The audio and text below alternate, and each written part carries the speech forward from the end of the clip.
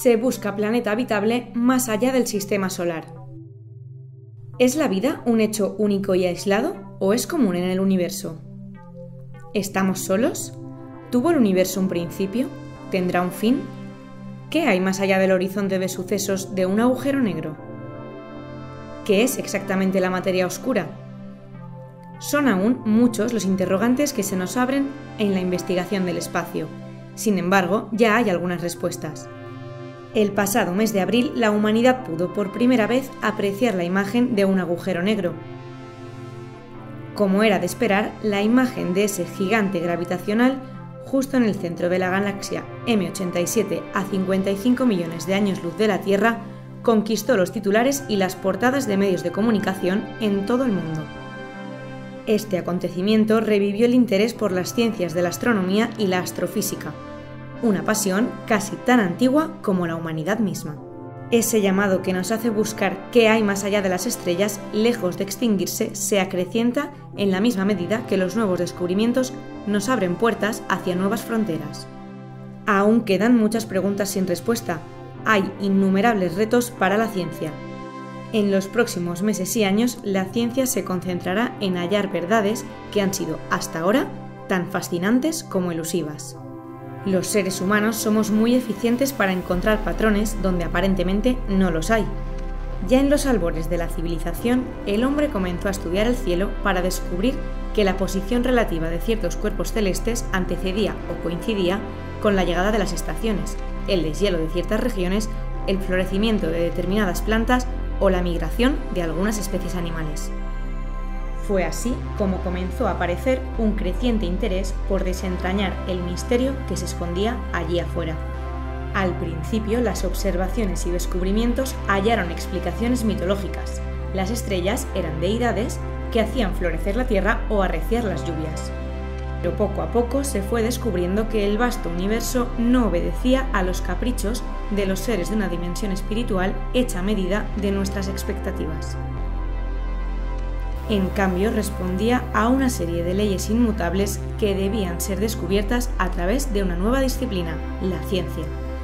De esa manera, la civilización se adentró en una búsqueda incesante de conocimiento.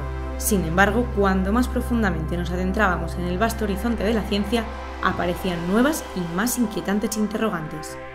Todos los planetas de nuestro sistema solar orbitan alrededor del Sol. Los planetas que giran en torno a otras estrellas se llaman exoplanetas. Son muy difíciles de ver con telescopios, están ocultos por el resplandor brillante de las estrellas sobre las que orbitan. Por lo tanto, los astrónomos usan otras formas de detectar y estudiar estos planetas distantes. La búsqueda de exoplanetas no es solo una moda, en realidad es una rama de la ciencia que se encuentra en plena expansión. Así lo ha afirmado Didier Queloz, uno de los suizos que en 1995 descubrió 51 Pegasi b, el primer planeta conocido que no pertenece a nuestro sistema solar. El científico asegura que esta disciplina va más allá de la astrofísica, interesa a los geólogos, los físicos de la atmósfera y los biólogos y que existe un nuevo campo de investigación importante que seguirá creciendo. Una forma de buscar exoplanetas es localizar estrellas oscilantes. Una estrella que tiene planetas no orbita perfectamente alrededor de su centro. Desde lejos, esta órbita, descentrada, hace que la estrella parezca como un astro bamboleante. Cientos de planetas han sido descubiertos usando este método, sin embargo, solo los grandes planetas como Júpiter e incluso mayores pueden ser vistos de esta manera. Los más pequeños como la Tierra son mucho más difíciles de encontrar porque crean solo pequeñas oscilaciones por lo que resulta mucho más arduo detectarlas. Hoy en día los investigadores dedican gran parte de sus esfuerzos a la búsqueda, detección y caracterización de planetas telúricos parecidos a la Tierra. Específicamente están concentrados en ubicarlos en las zonas de habitabilidad de sus respectivas estrellas. Una serie de iniciativas están dirigidas a analizar en gran detalle, mediante telescopios ubicados en diversas partes del mundo, la luz procedente de las estrellas brillantes y próximas con el objetivo principal de encontrar un planeta que reúna las condiciones adecuadas para mantener agua líquida en su superficie, el disolvente esencial para la vida en nuestro planeta. Las estrellas y los planetas son los componentes básicos con los que está construido el universo Por ello, comprender los mecanismos de su formación constituye uno de los mayores retos de la astrofísica contemporánea. Para alcanzar esa meta, los astrónomos estudian las regiones de las galaxias en las que tiene lugar el nacimiento de estrellas nuevas. Frecuentemente se trata de regiones escondidas en las profundidades de grandes nubes de gas y polvo que constituyen una suerte de guardería estelar donde nacen las nuevas estrellas. El estudio de la historia es clave para entender la realidad de las sociedades modernas. Por ello los historiadores indagan con frecuencia en bibliotecas, archivos y documentos antiguos buscando claves para la comprensión de fenómenos sociales y culturales más recientes. De la misma manera, a los astrofísicos les gusta indagar en el pasado, para averiguar, por ejemplo, cómo se formó la Vía Láctea, la galaxia que es nuestro hogar, o galaxias parecidas a ella en tamaño y forma de composición. Al hablar de galaxias muy lejanas debemos entender que el término lejana debe comprenderse en términos astrológicos. Significa que estamos hablando de una galaxia cuya luz ha tardado mucho tiempo en llegar a nosotros. Por ejemplo, cuando vemos la galaxia no solo estamos observando la distancia, también estamos yendo hacia atrás en el tiempo. Para entender las proporciones, pensemos en que, por ejemplo, con los más grandes telescopios terrestres o con el telescopio espacial Hubble, vemos galaxias ubicadas a 13.400 millones de años luz de distancia. Eso quiere decir que cuando las observamos estamos viendo el universo cuando solo tenía 600 millones de años. Actualmente tiene 14.000. El Sol ni siquiera existía entonces y es que en realidad casi estamos viendo cómo estaban haciendo la primera generación de estrellas del universo.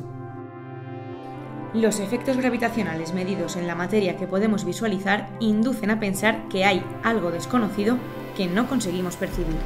Aunque es imperceptible, ese algo constituye nada menos que el 95% del universo, Dicho de otra manera, lo que sí percibimos es tan solo un 5%.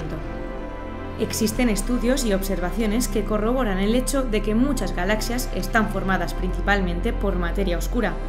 Se estima que la Vía Láctea tiene un 90% de materia oscura y solamente un 10% de materia ordinaria. Para detectar la materia oscura con mayor certeza, los investigadores tendrían que esperar a los nuevos datos que se obtengan del telescopio espacial Hubble. También necesitarán los resultados del telescopio espacial James Webb, lanzado en el año 2013.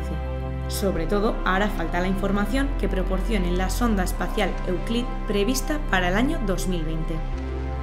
La composición de la materia oscura se desconoce, pero las pruebas actuales apuntan a que su componente primario son unas nuevas partículas elementales llamadas en su conjunto como materia oscura. Los modelos del Big Bang y la estructura a gran escala del universo han sugerido que tales galaxias oscuras deberían ser muy comunes, pero hasta hoy no ha sido posible detectar ninguna. Se conoce un tipo de materia oscura, el neutrino. Los neutrinos tienen una masa muy pequeña, no interactúan a través de fuerzas electromagnéticas o de la fuerza nuclear fuerte y son, por tanto, muy difíciles de detectar. Sin embargo, parece ser que los neutrinos ordinarios solo constituyen una pequeña parte de la materia oscura. Lo cierto es que con cada luz que nos brinda la ciencia, nuevos misterios aparecen en el horizonte. Se trata de una búsqueda incesante de conocimiento, un elemento que nos caracteriza como especie.